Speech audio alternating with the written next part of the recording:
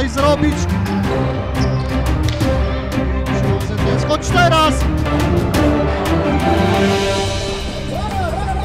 który ucieka na czystą pozycję Boczerowski sam. Teraz dopiero do Łyko. Marna! I gol! Nie pozostawia żadnych wątpliwości yy, w tym momencie. Wspaniała piłka! I będzie! Będzie przyłożenie dla Miners!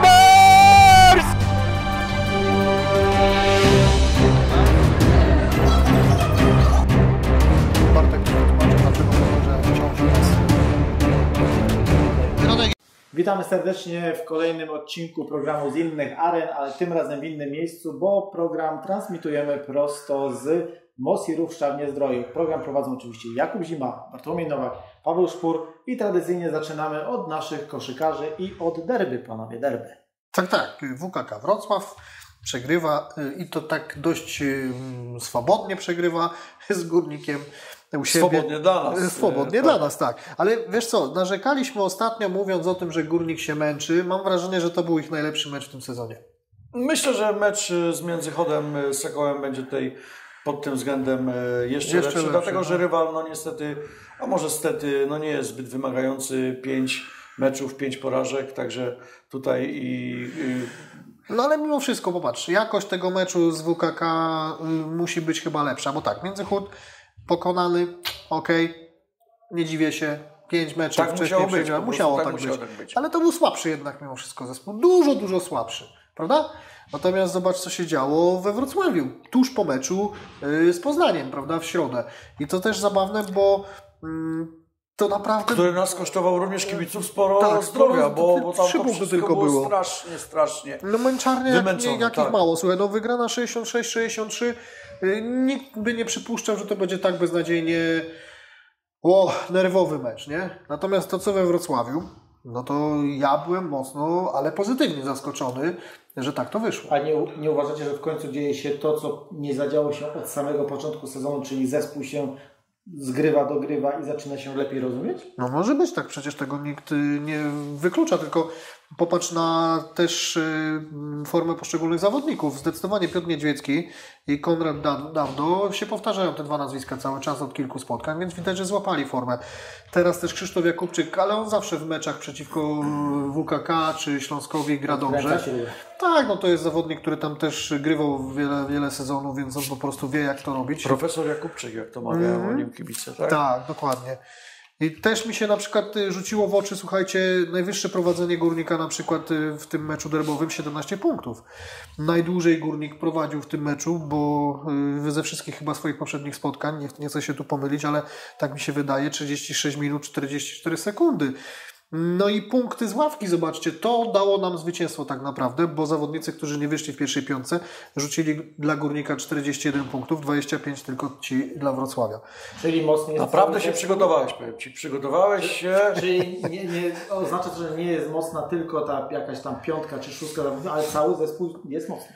No właśnie tak. I to też się mm, jakby potwierdza w tych punktacjach. Zobaczcie, że tutaj nie ma jednego lidera, tak jak na przykład y, Stopierzyński, tak jak na przykład inni zawodnicy z innych klubów, gdzie jeden ma 20 punktów, 22, a reszta tak trochę odstaje. W Górniku mamy zawodników, gdzie zawsze jeden, no ktoś ma tych punktów najwięcej. Przeważnie jest to Piotr Niedźwiecki, Konrad Dawdo. Ale to jest tak, 17, 18, 20, a trzech kolejnych 3-4 punkty tylko mniej i to ciągnie grę całą do przodu. Niedźwiecki znowu w tym meczu błysnął 17 plus 12, czyli 17 punktów plus 12 zbiórek. Moim zdaniem, akurat y, kolejny dobry występ. Soku, Marbo, Międzychód. Wiecie co, no powiem Wam tak.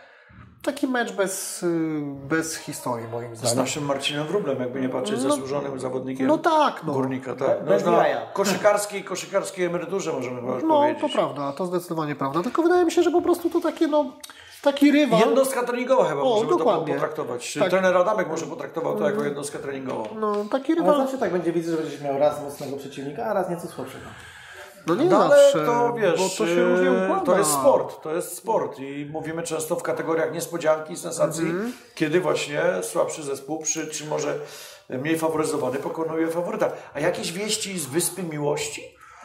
Panowie, no właśnie ostatnio jest za w ogóle roz... Ja nie, ja tego nie śledzę, ale... Ja też tego nie śledzę, ale gdzieś zobaczyłem post Bartka, Bartka Ratajczaka, że, że gdzieś tam jest też y, typowany do zwycięzcy, ale Tak, tak, ale y, y, że to o nim się rozpisują już media ogólnopolskie, te pudelki, nie pudelki, jakieś inne te takie, więc... Wiecie, co? To no, ja wam powiem tak. Pudelków, ratlerków i innych tych nie Ja oglądam. tak samo. nie czytam. W żadnej wyspy miłości nie oglądam.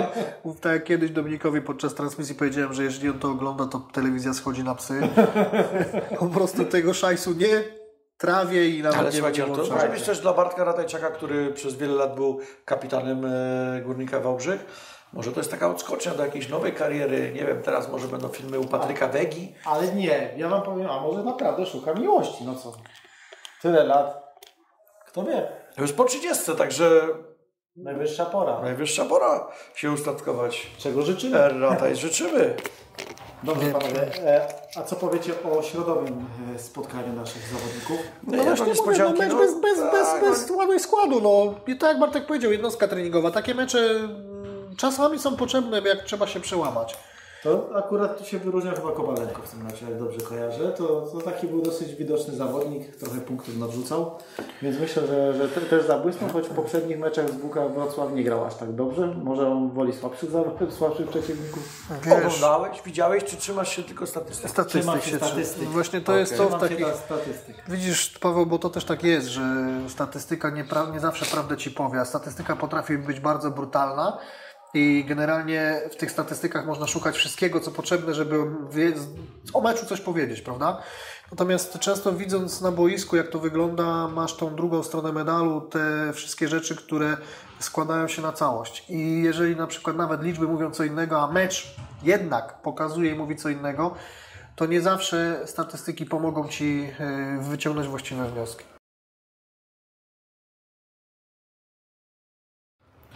Dobrze panowie, to co? Idziemy do siatkówki. Nie, nie, nie, no, jeszcze? ja, koszykówka. A Tylko jeszcze? w nieco innym wydaniu. A przepraszam bardzo. na- A I'm on so nie umie sorry. czytać, wiesz? I'm so sorry, Kuba zrobił znowu ten, a ja nie przeczytałem. Dobrze, Kuba, To proszę już bardzo. trzeci raz Oddaję, rzędu, wiesz? oddaję Ci Kuba głos. Przepraszam. najmocniej. Y, Wiesz co, no, no co, no sam prosiłeś, żeby na to zwrócić uwagę tydzień temu. Tak. No, to, no to zwróciłem. 21-22 października y, przygotowawczy turniej wózkarzy naszych górnika Toyota Wałbrzych, który, którzy zmierzą się z trzema przeciwnikami. Z tym, że ten turniej będzie zorganizowany w formie półfinałowych spotkań i finałowych y, w niedzielę. Y, Górnik y, zagra w tym pierwszym swoim spotkaniu półfinałowym w sobotę 21 o godzinie 16 z ekipą z Poznania. W tych rozgrywkach zagra jeszcze drużyna Heroes Kraków i, i KSGT Konstancin. E, Te dwa zespoły zmierzą się w drugim półfinale. No zwycięzca oczywiście w wielkim finale o 12 w niedzielę. Na hali Akwazdroju. Tak, tak. Ci, co zaś przegrają, zagrają mecz o trzecie miejsce. Yy, Zapraszamy wszystkich chętnych na halę, żeby sobie zobaczyli na żywo, jak to wygląda, bo te mecze są naprawdę ciekawe. Właśnie, chciałem to dodać, yy, bo ja troszeczkę też meczów w poprzednich sezonach oglądałem. Słuchajcie, tam sport no jest taki czystej, czystej krwi, możemy powiedzieć. Yy, Tak. I tam te emocje są naprawdę olbrzymie. yy, Plus, plus efektowne czasami yy, upadki, wypadki na, na tych specjalnie przygotowanych wózkach, ale walka jest niesamowita. Przypomnijmy, że mamy komu kibicować, bo Górnik Toyota to drugi rok z rzędu. Trzecie yy, miejsce w trzecie miejsce, brązowy medal Mistrzostw Tak. Polski. I w, niewiele brakowało, żebyśmy znaleźli się w minionym w finale, sezonie tak. w finale. Tam tak. naprawdę zabrakło kilku punktów. Z Konstancinem? Yy, W półfinale.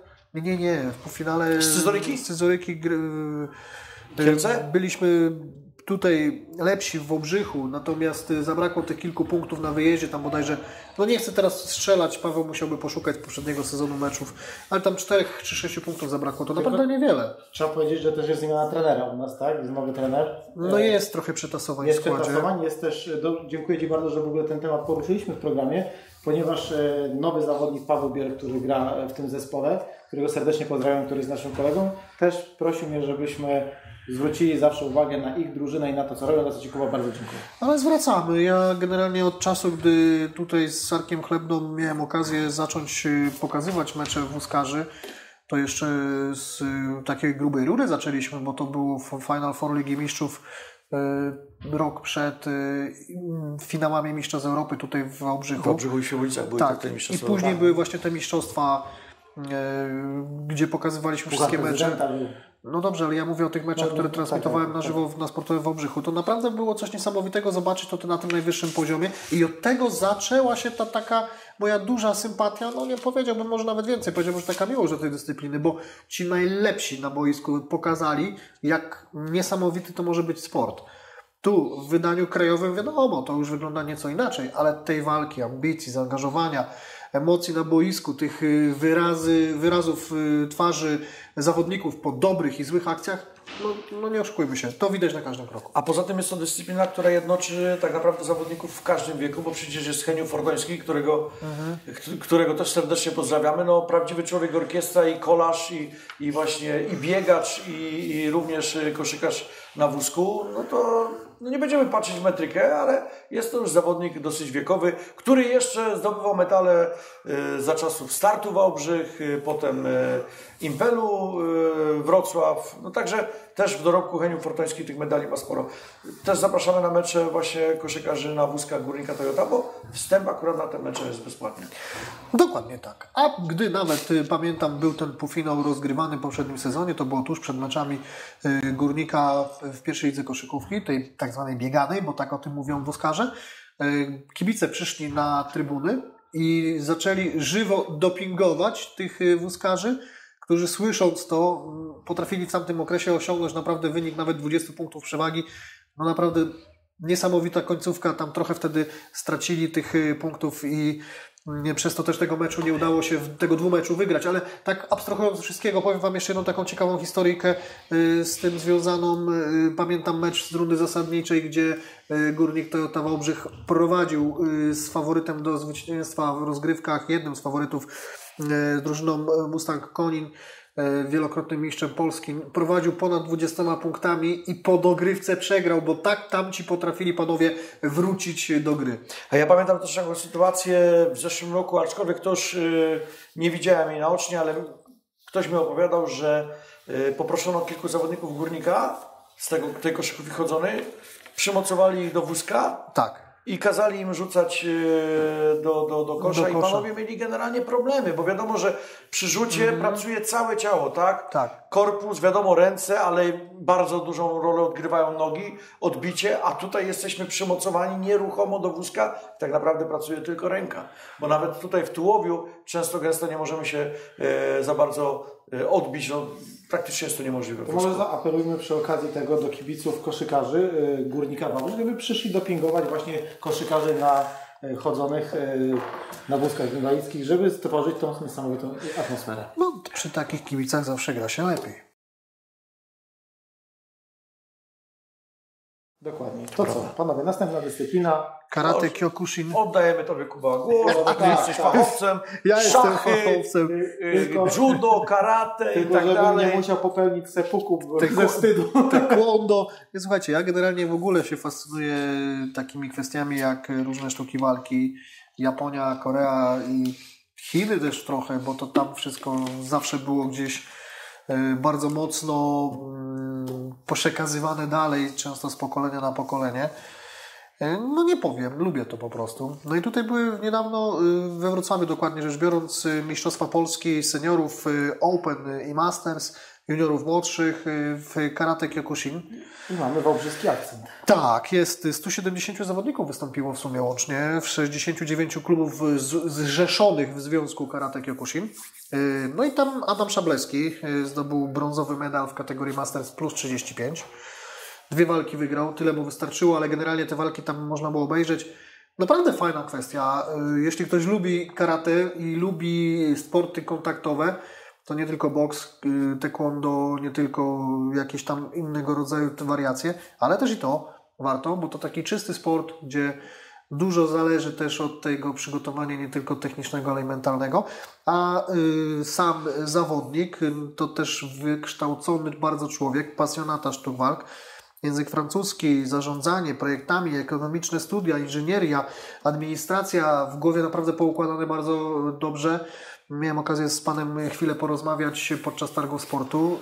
No muszę powiedzieć, że bardzo, bardzo się to fajnie Yy, ogląda, gdy widzi się człowieka, który ma jakiś pomysł na siebie, swoją dyscyplinę i potrafi to sprzedać dalej.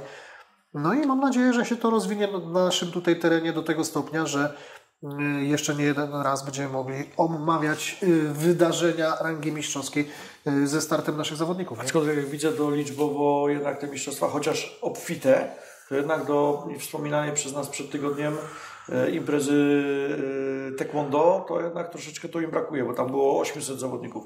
Tak, Tutaj jak to jest- 170. To jest prawda, tylko to też jest kwestia, widzisz, taka, że y, tutaj się zjechali y, panowie y, na te zawody taekwondo y, też w, w ramach różnych eliminacji. Tutaj też grupa pojechała pewna na Mistrzostwa Europy później, więc to też jakby ranga tych zawodów była trochę większa. Poza tym też warto zwrócić uwagę, ilu zawodników y, jedną drugą dyscyplinę, wiesz, uprawia i biorąc pod uwagę z, z, większość, y, no jednak w- jakby ilość osobową w danym związku, który zrzesza taką czy inną grupę ludzi, to to nie jest wcale mała liczba zawodników. To jest tak jakbyś, wiesz, masz na przykład 80% czy tam około tego całości. To naprawdę dobry wynik. Choć fakt, no sama liczba bezwzględna jest jednak inna i to też robi, robi różnicę niby, nie? To przy okazji troszeczkę się i pochwalę i generalnie powiem, że jeżeli, kiedy byłem dzieckiem, trenowałem przez chyba rok, chodziłem na zajęcia. Coś się rozkręcił. I, no i powiem więcej. Moim e, mistrzem był Eugeniusz Stanisławek, którego serdecznie pozdrawiam. Jest to legenda właśnie tej dyscypliny sportu, legenda na świecie też, ma 7 danów, także e, warto też o tym wspomnieć, że u nas w Obrzychu tak naprawdę ta, ta dyscyplina ma mocne korzenie. To pochwal się, co udało Ci się przez ten rok osiągnąć. Masz jakiś pas, yy, zdałeś jakiś egzamin. Nie zjadłem miskę ryżu. nie żartuję Pasek może miało, ale to Oczywiście chodziłem też bardziej, żeby jakieś tam umiejętności nabyć, natomiast e, skończyło się wszystko po tym, jak się rozchorowałem na ospę i po ospie już nie wróciłem. To bardzo często tak jest wśród dzieci. Że po ospie się nie wraca. wykształcony pasjonata sztuk walk, tak. Tak. Ale oczywiście, oczywiście serdecznie pana Eugeniusza pozdrawiamy. E, Zawsze e, lubię się z nim spotkać, chwilę porozmawiać, jeżeli mam taką... e, A dawno nie widziałem, dawno nie Dawno widziałem pana widziałem. Eugeniusza, powiem szczerze.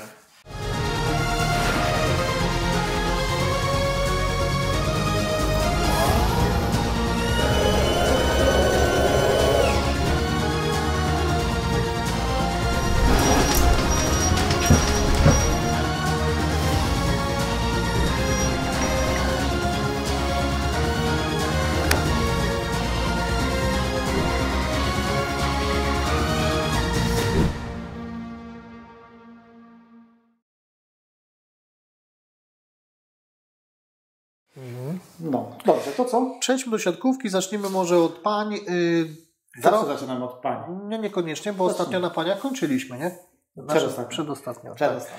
Słuchajcie, y, będzie trochę tutaj materiałów wideo po drodze, takich, y, które też możemy Państwu pokazać, bo byliśmy na kilku meczach siatkówki w ten weekend ostatni, który y, właśnie minął. Chcielibyśmy powiedzieć również, że właśnie to w sportowym Wałbrzychu na programie YouTube, YouTube, YouTube. YouTube. Nie na programie. YouTube e, transmitujemy mecze siatkówki żeńskiej. E, Oczywiście komentuje znakomicie Jakub Zima. Oglądałeś, czy tylko tak próbujesz mi się Niektóre, podlizać? niektóre Kuba oglądam. Jak tylko mogę, nawet w samochodzie włączam, wyobraź sobie na głośnik, puszczam i słucham.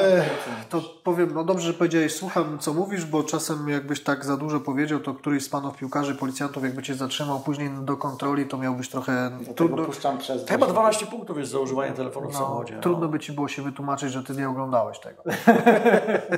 To prawda.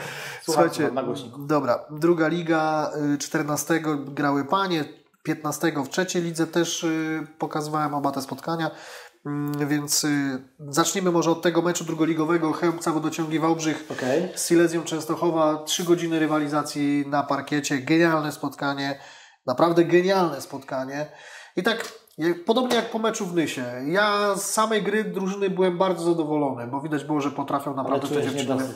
No tak, czuję niedosyt, bo wiem, że ten, można, ten mecz można było wygrać w trzech setach nawet. E, Bo popatrzcie, pierwszy set wygrany mm, do 23, no na styku. Kontrowersja przy piłce przy stanie 24-23.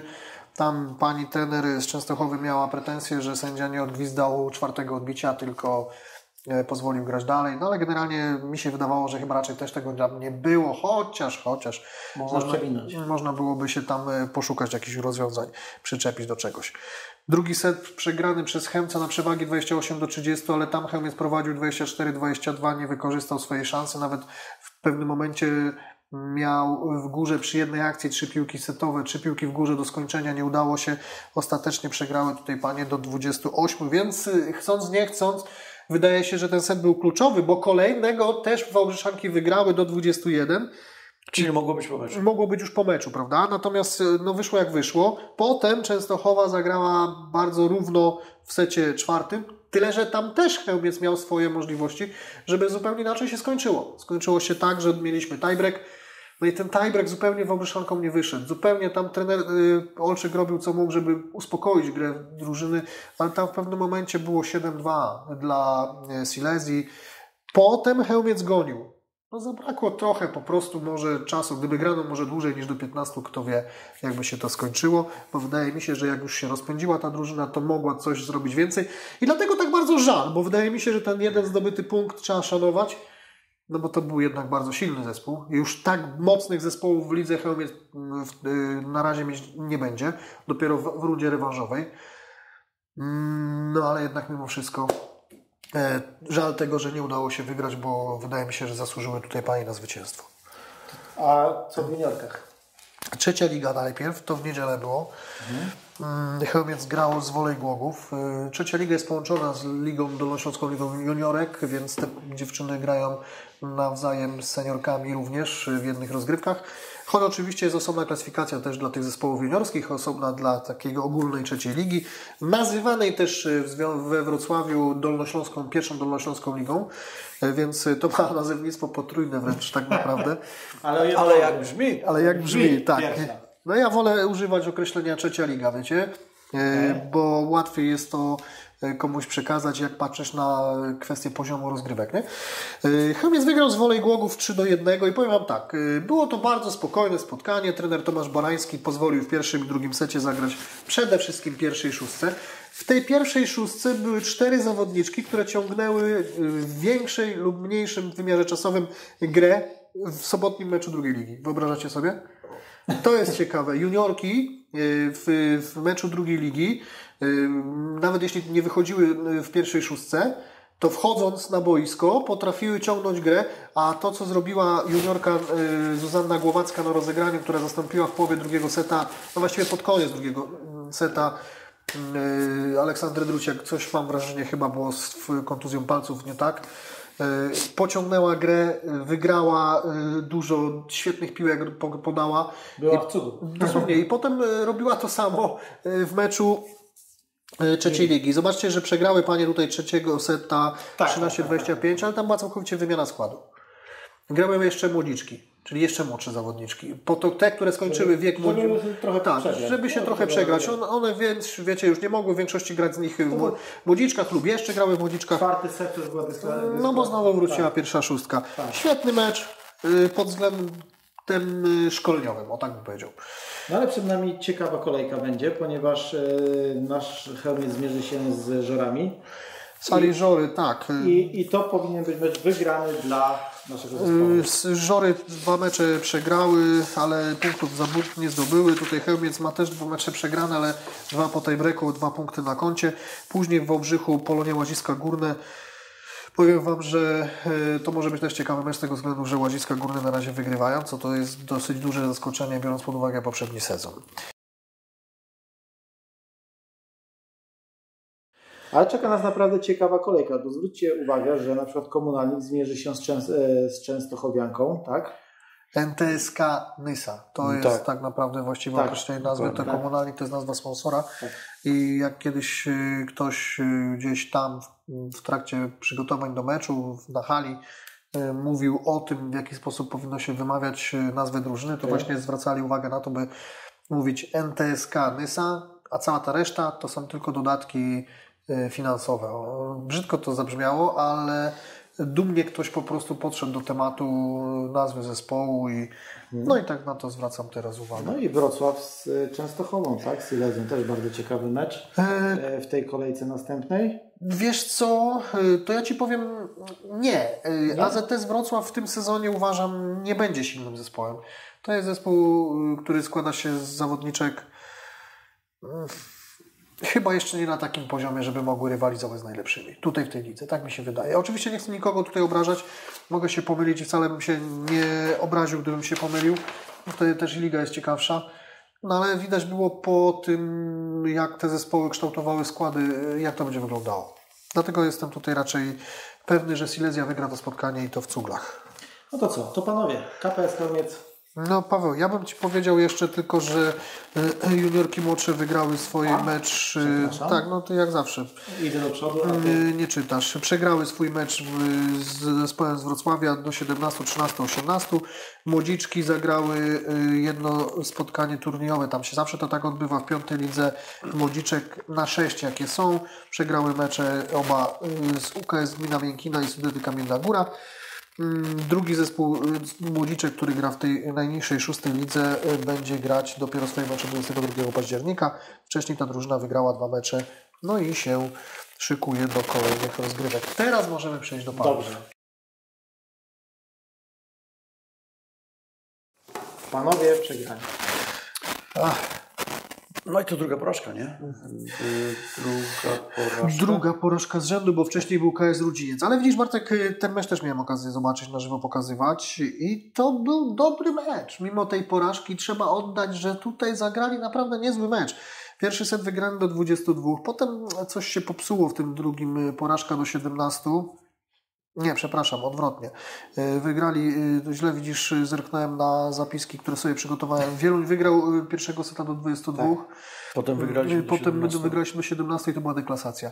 Wszystko Chemcowi wychodziło. I patrząc pod kątem możliwości drużyny, to jestem niemal na milion procent pewien, że gdyby powtórzyli tak dobrą grę w kolejnym secie, to możliwe, żeby ten mecz wygrali, nawet jeśli by tam może doszło do tej breaka. Dlatego, że y, ekipa z Wielunia w tym drugim secie nie miała totalnie pojęcia, jak sobie poradzić z tą Ale sytuacją. właśnie w siatkówce Kuba, najważniejsza jest powtarzalność. No tak. Kuba, jak się sprawdza w ogóle sytuacja z y, grającym trenerem? No jak się sprawdza? Trener patrzy z boku na to, co się dzieje i Jerzyk wtedy gra na rozegraniu. Gdy Jurkowicz e, wchodzi na boisko, to najczęściej to wygląda tak, że po prostu są to takie momenty newralgiczne, jakieś momenty, w których musi drużynie pomóc. No i wtedy Fabian Kurzawiński e, siedzi jako ten e, pierwszy e, zarządzający na z boku i obserwuje, co się dzieje, robi zmiany, bierze czas, pomaga drużynie. To się sprawdzało, to się sprawdzało i w drugim secie, i w pierwszym secie częściowo, częściowo też w tym czwartym, y, bo tutaj trener Jurkowicz widać nie jest pierwszym rozgrywającym, y, y, przynajmniej w tym meczu nie wychodził w pierwszej szóstce jako pierwszy rozgrywający.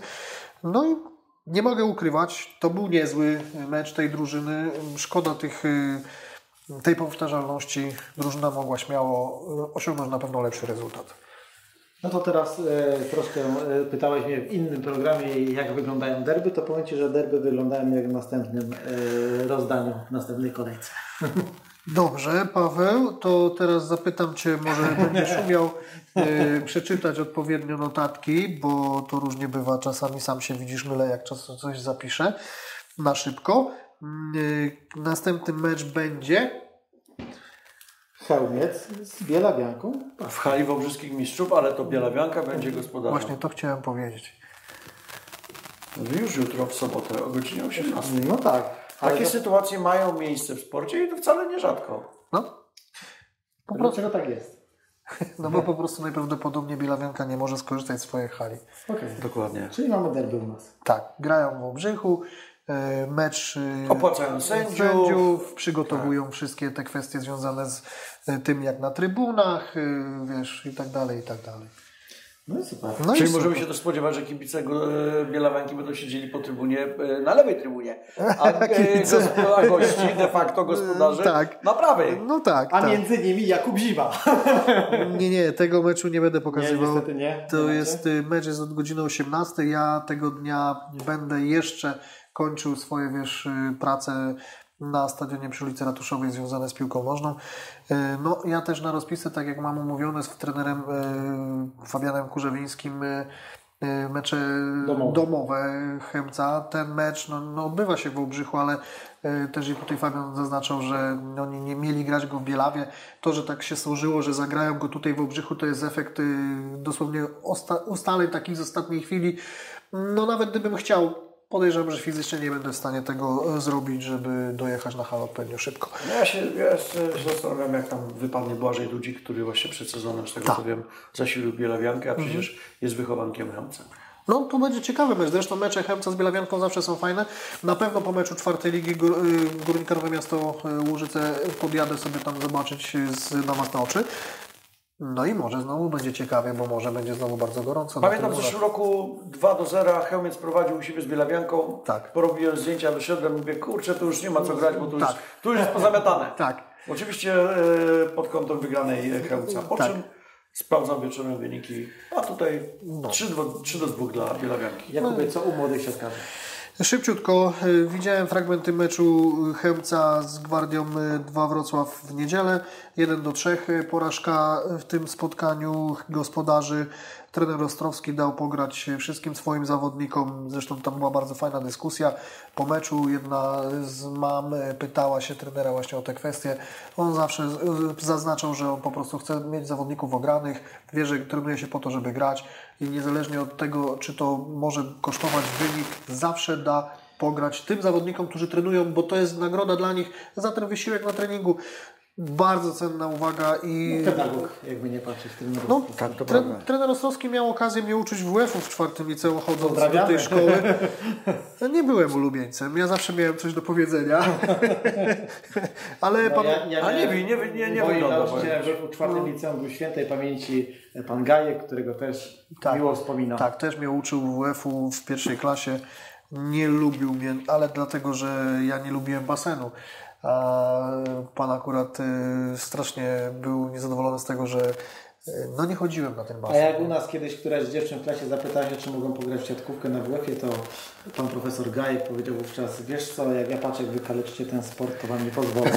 ale, ale bardzo lubiłem z nim zajęcia właśnie na hali, bo one były po prostu ciekawe. Już nie mówiąc Tak. o tym, że dużo wymagało od takich technicznych spraw, jak na przykład dwutakty, jakieś odbijanie piłki w odpowiedni sposób. To wszystko było Przy przygotowane. przyjęciu, pamiętam do tej pory, Y, Uginać kolana, Tak, tak, jest, ale, ale widzisz, zostaje to być uginać kolana, nie? żeby musisz zrobić przysiad, tak. usiąść, żeby tak, zamortyzować tak, przyjęcie. tak, ale zobaczcie, ja dzięki takim właśnie WF-istom w szkole, czy to podstawowej, czy później w liceum, yy, ja idę na boisko do siatkówki, nie mówię, że jestem super specjalistą, ale ja sobie potrafię pograć i mi to sprawia przyjemność. Idę na boisko do kosza, nie jestem oczywiście jakimś tam wielkim koszkarzem, ale lubię sobie pograć i sprawia mi to przyjemność. Powiem Ci więcej, zasiadasz przed kamerę i komentujesz mecz i umiesz go skomentować, bo znasz podstawę. Y, Tak, bo tych podstaw też się uczyliśmy. To, to wbrew pozorom y, może nie było to najważniejsze, ale tego się uczyliśmy. Dobrze, Kuba. Juniorzy młodszy. Tak, juniorzy młodsi, tam są dwie drużyny, wygrywały dwie drużyny. Pierwsza, druga drużyna w 11 wygrały swoje mecze, 14 y, pierwsza i druga drużyna również y, miały swoje spotkania. Chełmiec 2 przegrał y, z Gwardią 2, Chełmiec 1 wygrał ze Sportingiem y, Wrocław 21 też czeka nas y, no, mecz w tej kategorii wiekowej Chemca 2 z Bielawianką. Y, Więc y, to taka powtórka z rozrywki. No a Gwardia 1 będzie podejmować u siebie we Wrocławiu y, pierwszą drużynę Chemca. Po trzech kolejkach drugie miejsce zajmuje y, KPS Chemiec 1. Y, Piąte druga drużyna. Gra w tej lidze 10 zespołów, więc to też tak naprawdę całkiem dobre wyniki. W młodzikach też dobrze Chełmiec sobie radzi na ten moment. Pierwsza Liga Młodzików to, to dobrze, bo to najwyższy poziom, jeśli chodzi o rozgrywki Dolnego Śląska. Są tam dwie drużyny w tej grupie. Y, Na miejscu drugim pierwsza, na miejscu czwartym na razie druga.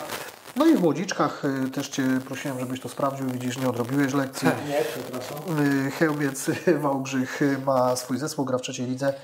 Ile jest lig młodziczek w rozgrywkach Dolnego Śląska? Już o tym dzisiaj mówiłem. Sprawdzam, czy mnie słuchasz ze zrozumieniem. Tak jest. O, a ja mimo niedyspozycji, przepraszam, A w której, Tak. a w której lidze y, grają panie y, z Wałbrzycha? Są trzy drużyny, jedna y, z KPS-u, dwie z MKS-u. Trzeci. Która? E, Z MKS-u. No nie, nie zgadłeś. Jedynka, siadaj. Ale siedzę. bardzo dobrze dwa minuty. W każdym razie bardzo, bardzo sympatyczna jest, słuchajcie, ta liga. Dużo tam jest emocji w tym wszystkim, naprawdę. No i cóż Wam powiem, y, Ty zaraz powiesz jeszcze raz o skarbie kibica, bo to ważny i szczytny cel, a dzisiaj, dzisiaj chyba, y, tak nieskromnie przyznam się, nie za bardzo miałem y, chyba źródeł tyle, żeby przygotować więcej. Znaczy, powiem, Szachów nie było? No będą dopiero w Szczawnie To zapowi- zapowiadaliśmy, Tak, to tak. zapowiadaliśmy. Dzisiaj się też odbywały y, zawody, to dopiero powiemy o tym później, Szkolnego Związku Sportowego y, w hali Wałbrzyskich Mistrzów.